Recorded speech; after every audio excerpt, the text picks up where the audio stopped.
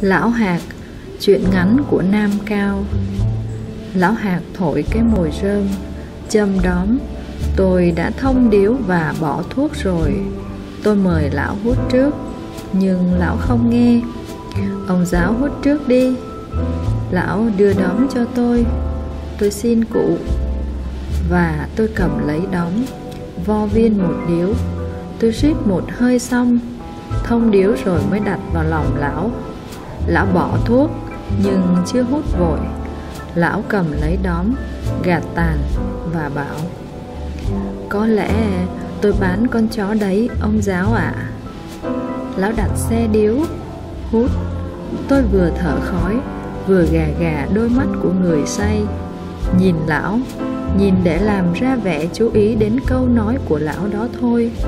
Thật ra thì, trong lòng tôi rất dững dưng. Tôi nghe câu ấy đã nhàm rồi. Tôi lại biết rằng Lão nói là nói để có đấy thôi, Chẳng bao giờ lão bán đâu. Vả lại, có bán thật nữa thì đã sao? Làm quái gì một con chó mà lão có vẻ băn khoăn quá thế? Lão hút xong, Đặt xe điếu xuống, Quay ra ngoài, Thở khói. Sau một điếu thuốc lào óc người ta tê dại đi trong một nỗi đê mê nhẹ nhõm. Lão hạt ngồi lặng lẽ, hưởng chút khoái lạc con con ấy. Tôi cũng ngồi lặng lẽ. Tôi nghĩ đến mấy quyển sách quý của tôi. Hồi bị ốm nặng ở sài gòn, tôi bán gần hết cả áo quần, nhưng vẫn không chịu bán cho ai một quyển. Ốm dậy, tôi về quê. Hành lý chỉ vẹn vẹn có một cái vali đựng toàn những sách. Ôi, những quyển sách rất nâng niu. Tôi đã nguyện giữ chúng suốt đời Để lưu lại cái kỷ niệm một thời chăm chỉ, hăng hái Và tin tưởng đầy những say mê, đẹp và cao vọng. Mỗi lần mở một quyển ra Chưa kịp đọc dòng nào Tôi đã thấy bừng lên trong lòng tôi như một rạng đông các hình ảnh tuổi 20 trong trẻo, biết yêu và biết ghét. Nhưng đời người ta không chỉ khổ một lần. Mỗi lần cùng đường đất sinh nhai và bán hết mọi thứ rồi, tôi lại phải bán đi một ít sách của tôi. Sau cùng chỉ còn có 5 quyển. Tôi nhất định dù có phải chết cũng không chịu bán. Ấy thế mà tôi cũng bán. Mới cách đây có hơn một tháng thôi Đứa con nhỏ của tôi bị chứng lị gần kiệt sức. Không, lão hạt ơi Ta có quyền giữ cho ta một tí gì đâu. Lão quý con chó vàng của lão Đã thấm vào đâu với tôi quý năm quyển sách của tôi? Tôi nghĩ thầm trong bụng thế. Còn lão hạt Lão nghĩ gì? Đột nhiên lão bảo tôi này, thằng cháu nhà tôi đến hơn một năm nay chẳng có giấy mã gì đấy, ông giáo ạ. À. à, thì ra lão đang nghĩ đến thằng con lão. Nó đi cao su 5-6 năm rồi. Hồi tôi mới về, nó đã hết một hạn công ta. Lão hạt đem thư của nó sang, mượn tôi xem. Nhưng nó xin đăng thêm hạn nữa. Lão vội cắt nghĩa cho tôi hiểu tại sao lão đang nói chuyện con chó là nhảy vọt sang chuyện thằng con như vậy. Con chó là của cháu, nó mua đấy chứ. Nó mua về nuôi, Định là đến lúc cưới vợ thì giết thịt. Thấy à, sự đời lại cứ thường như vậy đấy. Người ta đã định rồi, chẳng bao giờ người ta làm được. Hai đứa à, mê nhau lắm. À, bố mẹ đứa con gái biết vậy, Nên cũng bằng lòng gã nhưng họ thách nặng quá. Nguyên tiền mặt phải 100 đồng bạc Lại còn cau, còn rượu. Cả cưới nữa thì mất đến cứng 200 bạc. Lão Hạc không lo được. Ý thằng con lão thì nó muốn bán vườn Cố lo cho bằng được. Nhưng lão không cho bán. Ai lại bán vườn đi mà lấy vợ? Vả lại bán vườn đi thì cưới vợ về ở đâu. Với lại, nói cho cùng nữa, nếu đằng nhà gái họ cứ khăng khăng đòi như vậy, thì dẫu có bán vườn đi cũng không đủ cưới. Lão Hạc biết vậy đấy, Nhưng cũng không dám sẵn. Lão tìm lời lẽ giảng giải cho con trai hiểu Lão khuyên nó hãy dành lòng bỏ đám này. Để rồi gắn lại ít lâu, Xem có đám nào khá mà nhẹ tiền hơn sẽ liệu. Chẳng lấy đứa này thì lấy đứa khác. Làng này đã chết hết con gái đâu mà sợ. Lại trời, lại đất. Nó cũng là thằng khá. Nó thấy bố nói thế thì nó thôi ngay. Nó không đã động đến việc cưới xin gì nữa. Nhưng nó có vẻ buồn. Và lão biết nó vẫn theo đuổi con kia mãi. Lão thương con lắm, Nhưng biết làm sao được. Tháng 10 năm ấy, Con kia đi lấy chồng. Nó lấy con trai một ông phó lý, Nhà có của.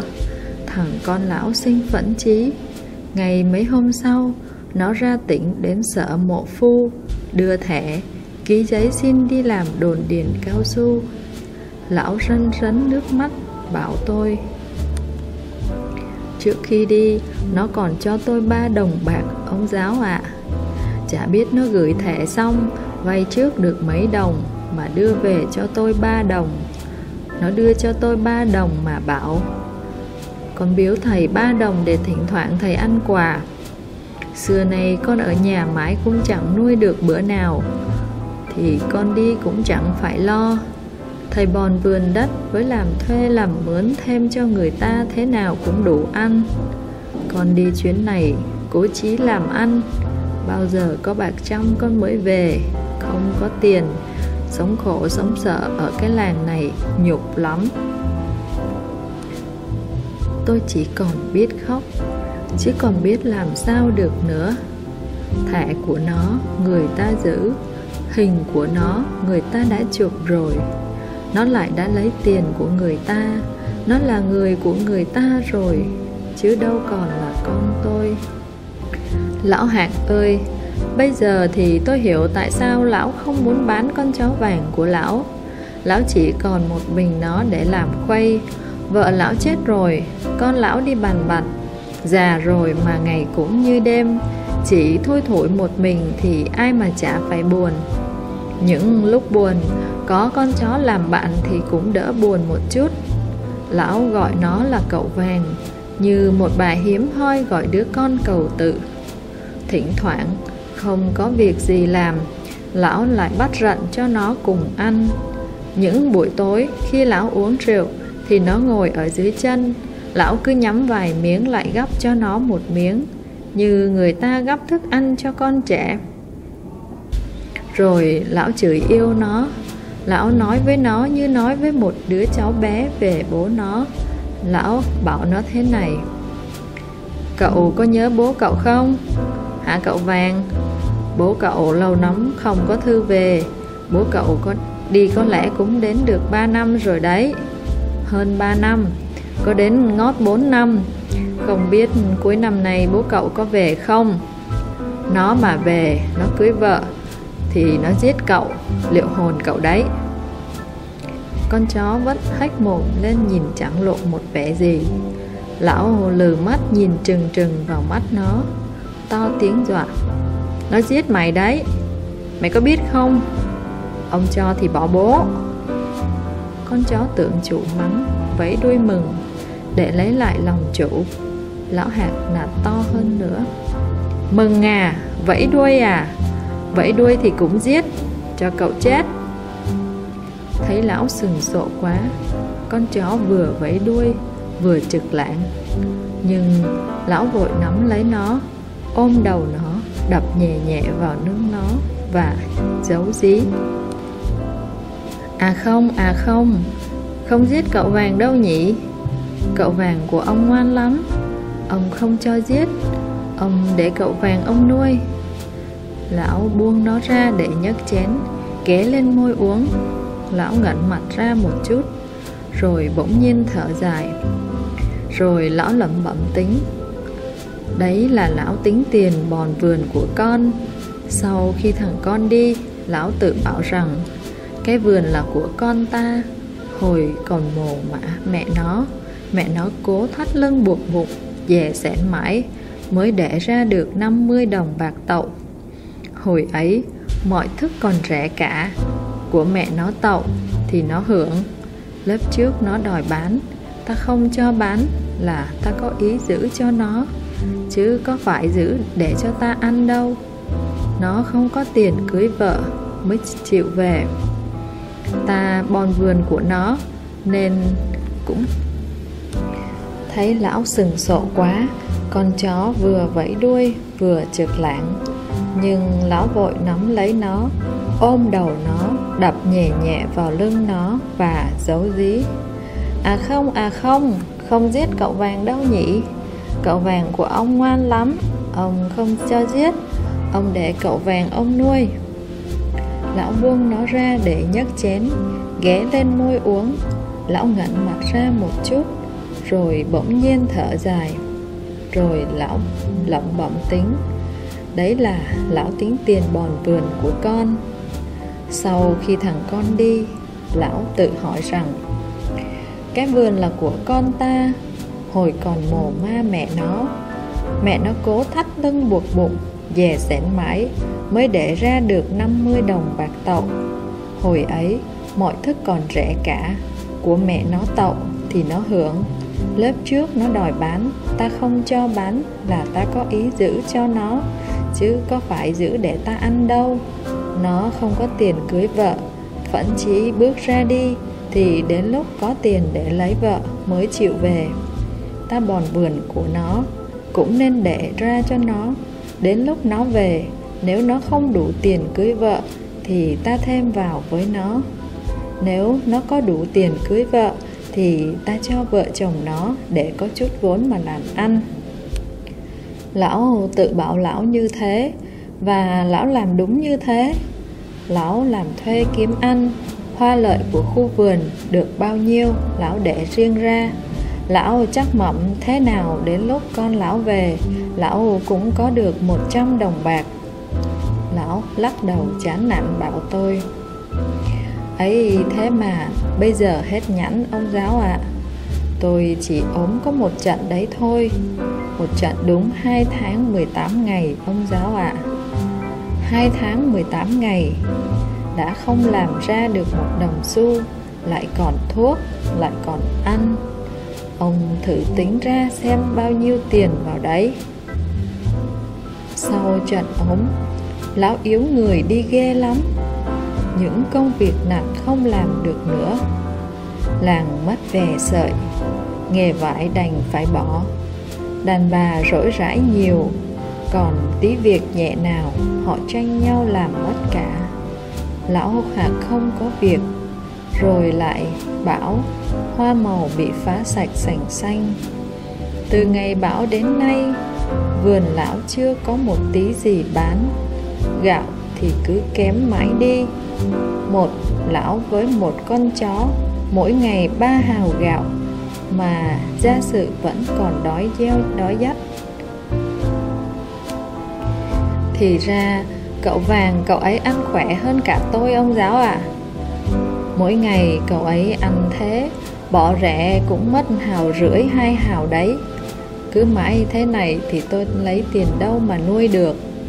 Mà cho cậu ấy ăn ít Thì cậu ấy gầy đi, Bán hụt tiền.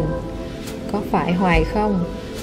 Bây giờ cậu ấy béo trùng trục, Mua đắt, Người ta cũng thích. Lão ngắt lại một chút Rồi tắt lưỡi. Thôi thì bán phát đi, Đỡ được đồng nào hay đồng ấy. Bây giờ tiêu một xu cũng là tiêu vào tiền của cháu. Tiêu lắm, Chỉ chết nó. Tôi bây giờ có làm gì được đâu. Hôm sau, lão hạt sang nhà tôi. Vừa thấy tôi, Lão báo ngay, Cậu vàng đi đời rồi, ông giáo ạ. À. Cụ bán rồi. Bán rồi, họ vừa bắt xong. Lão cố làm ra vui vẻ. Nhưng trông lão cười như mếu Và đôi mắt lão ẩn ợt nước. Tôi muốn ôm choàng lấy lão mà òa lên khóc. Bây giờ thì tôi không sót năm quyển sách của tôi quá như trước nữa. Tôi chỉ ái ngại cho lão hạt Tôi hỏi cho có chuyện. Thế nó cho bắt à? Mặt lão đột nhiên co rúm lại. Những vết nhăn xô lại với nhau, Ép cho nước mắt chảy ra. Cái đầu lão ngoẹo về một bên Và cái miệng móm mém của lão Mếu như con nít. Lão hu hu khóc. Khốn nạn, ông giáo ơi, Nó có biết gì đâu. Nó thấy tôi gọi thì chạy ngay về. Vẫy đuôi mừng, Tôi cho nó ăn cơm. Nó đang ăn Thì thằng Mục nấp trong nhà, Ngay đằng sau nó, Tóm lấy hai cẳng Sau dốc ngược nó lên. Cứ thế là thằng Mục với thằng Xiên, Hai thằng chúng nó chỉ loay hoay một lúc đã trói được chặt cả bốn chân nó lại. Bây giờ, cu cậu mới biết là cu cậu chết. Này ông giáo ạ. À, Cái giống nó cũng khôn. Nó cứ làm in như nó trách tôi. Nó kêu ư ử Nhìn tôi như muốn bảo tôi rằng À lão già tệ lắm. Tôi ăn ở với lão như thế Mà lão xử với tôi như thế này. Thì ra tôi già bằng này tuổi đầu rồi Còn đánh lừa một con chó. Nó không ngờ tôi nỡ tâm lừa nó. Tôi an ủi lão. Cụ cứ tưởng thế đấy, Chứ nó chả biết đâu. Vả lại, Ai nuôi chó mà chả bán hay giết thịt? Ta giết nó chính là hóa kiếp cho nó đấy. Hóa kiếp để cho nó làm kiếp khác. Lão chua chát bảo. Ông giáo nói phải, Kiếp cho chó là kiếp khổ, Thì ta hóa kiếp cho nó Để nó làm kiếp người. May ra có sung sướng hơn một chút. Kiếp người như kiếp tôi chẳng hạn. Tôi bùi ngùi nhìn lão, Bảo, Kiếp ai cũng thế thôi, cụ ạ. À. Cụ tưởng tôi sung sướng hơn chăng? Thế thì không biết Nếu kiếp người cũng khổ nốt Thì ta nên làm kiếp gì cho thật sướng? Lão cười và ho sòng sọc. Tôi nắm lấy cái vai gầy của lão. Ôn tồn bảo Chẳng kiếp gì sung sướng thật. Nhưng có cái này là sung sướng. Bây giờ cụ ngồi xuống phản này chơi Tôi đi luộc mấy củ khoai lang Nấu một ấm nước chè tươi thật đặc. Ông con mình ăn khoai Uống nước chè rồi hút thuốc lào Thế là sướng. Vâng, ông giáo dạy phải Đối với chúng mình thì thế là sung sướng. Lão nói xong lại cười đưa đà. Tiếng cười gượng, nhưng nghe đã hiền hậu lại. Tôi vui vẻ bảo, Thế là được chứ gì? Vậy cụ ngồi xuống đây, Tôi đi luộc khoai nấu nước. Nói đùa thế, Chứ ông giáo cho để khi khác. Việc gì còn phải chờ khi khác? Không bao giờ nên hoãn sự sung sướng lại. Cụ cứ ngồi xuống đây, Tôi làm nhanh lắm. Đã biết, Nhưng tôi còn muốn nhờ ông một việc. Mặt lão nghiêm trang lại. Việc gì thế, cụ? Ông giáo để tôi nói. Nó hơi dài dòng một tí. Vâng Cụ nói. Nó thế này, ông giáo ạ. À. Và lão kể. Lão kể nhỏ nhẹ và dài dòng thật. Nhưng đại khái có thể rút vào hai việc. Việc thứ nhất Lão thì già Con đi vắng vả lại nó cũng còn dại lắm nếu không có người trông nom cho thì khó mà giữ được vườn đất để làm ăn ở làng này. Tôi là người nhiều chữ nghĩa, nhiều lý luận, người ta kiêng nể, vậy lão muốn nhờ tôi cho lão gửi ba xào vườn của thằng con lão. Lão viết văn tự nhượng cho tôi để không ai còn tơ tưởng dòm ngó đến.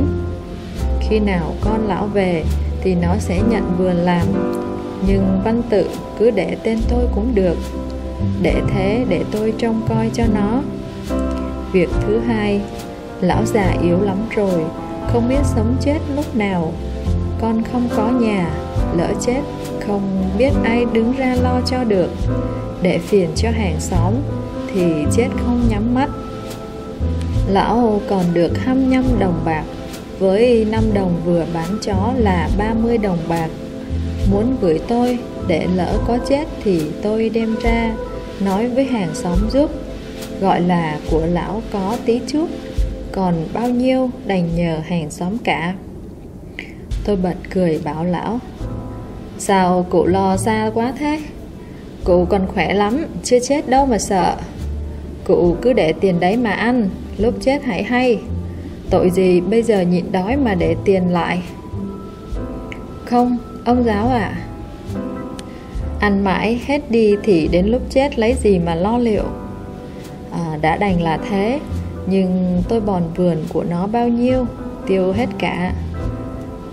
Nó vợ con chưa có Ngộ nó không lấy gì lo được Lại bán vườn thì sao?